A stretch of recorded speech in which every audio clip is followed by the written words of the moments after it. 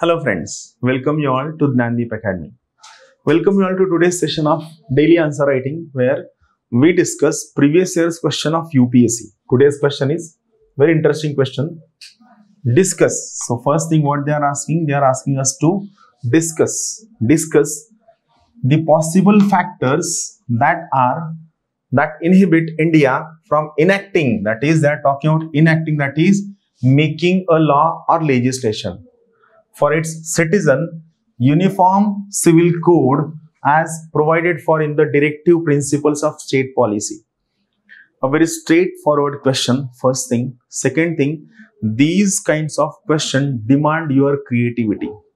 How you think what you think what are your stake or what is your stand on these kinds of question where you should definitely take a stand is the question. So let's think again the question once again. They are asking us to, to discuss. First they want us to discuss what various factors factors relating to what? That why india is not able to enact a law. They are not talking about implementation. They are talking about enacting a law. That is making a law. Relating to what? Relating to the uniform civil code as provided in the directive principles of state policy. Here certain factual things. First thing, uniform civil codes are provided in Article 44 of the Indian Constitution. Article 44. DPSPs are given in Part 4 of the Indian Constitution. So these two things, these two factual parts should be the beginning of your answer that is Uniform Civil Code are given in Article 44 of Directive Principles of State Policy, which is given in Part 4 of the Indian Constitution. Now, as usual, let's try to understand what is locus of the question and what is focus of the question. Here, Uniform Civil Code is locus of the question.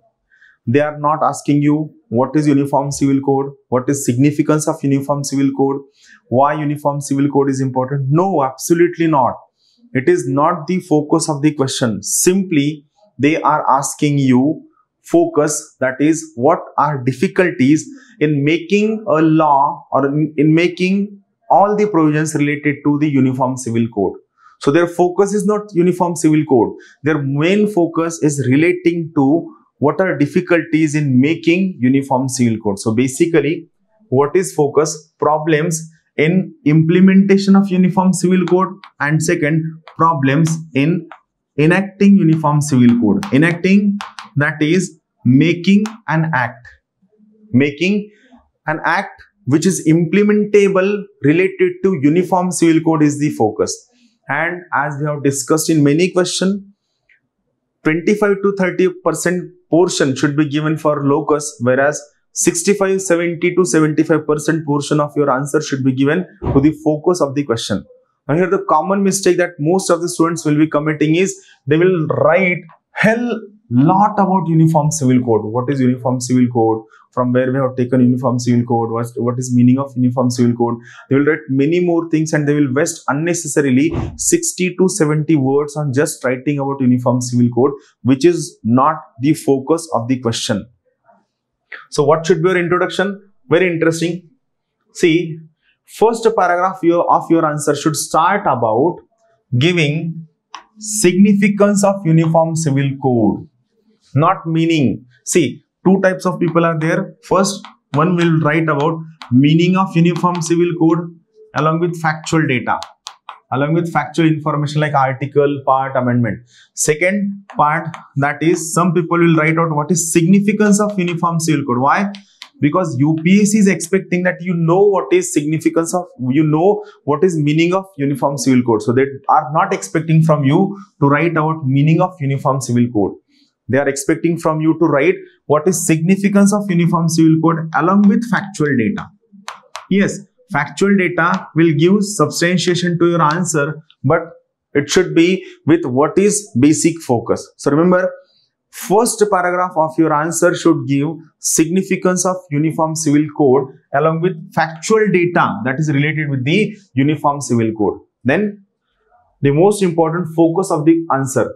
Challenges in the enactment of uniform civil code and implementation of uniform civil code. What are difficulties that we are going to face first in enacting of uniform civil code and second once we enacted that uniform civil code what could be the possible difficulties in its implementation so these two are two side two edge of a sword where enacting and implementation must go hand in hand First difficulty is religious and cultural diversity. I'm not going to discuss these things. You are expected to understand these points on your own. So first difficulty in enacting is religious and cultural diversity. Second, constitutional challenge.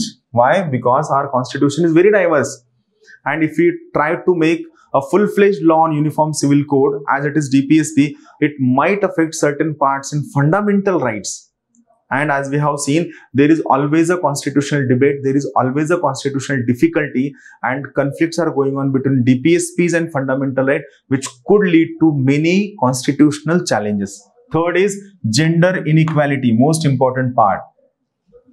Then fourth difficulty will be political resistance. Resistance from all spheres of polity that they will not be ready for. All these uniform civil code where everyone will be treated equally. It is uniform civil code. What is meaning of code? It is set of rules. Uniform where everyone is treated equally. As what? As civilian. Not male nor female not belonging to race religion caste sex or descent or place of birth. So a set of rules which is going to treat all civilians equally will be called as a uniform civil code and there will be resistance from all sectors of life. Fifth will be lack of public awareness regarding uniform civil code.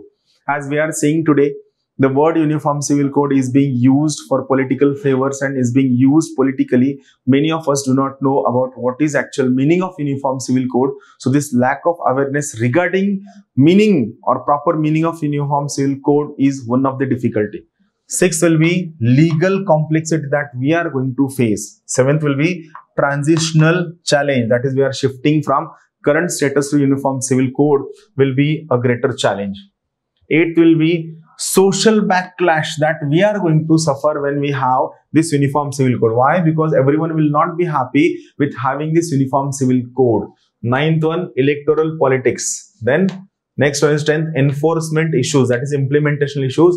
And 11th one will be pressing priorities. What we are going to have right now. What is our priority? Whether uniform civil code is the first priority so that we can compromise every other priority or we should focus on other priorities by keeping backside this uniform civil code. So these are the 11 points that you must write in your answer. My dear friends, always remember I am giving you 11 points but these kinds of answers have to be written in just only 100 125 to 150 words so it is again an art. It is a skill about how to put this entire data. And when you are expected to put this entire data in limited number of words in this case your creativity your innovation and most importantly priority of your answer is the key thing to score maximum marks. Conclusion the most important point regarding the uniform civil code in india is its potential. Now this is is its potential to establish a uniform legal framework. Establish a uniform legal framework for personal matters promoting equality and secularism. This should be your conclusion. Where you are going where you are thinking beyond what is in the current context it is your progressive interpretation of uniform civil code and progressive interpretation of various other aspects which are going to help you in all these regards. So that's all from my side. Keep watching the questions. Keep sharing with your all friends. And most importantly here take data understand these questions. Thank you